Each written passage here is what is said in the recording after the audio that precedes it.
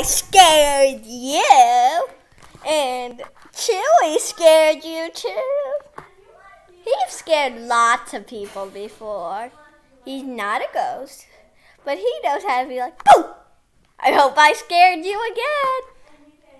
I hope I scared you two times. And thanks for watching today's video. And don't forget to subscribe to my channel and, pu- and push that like button.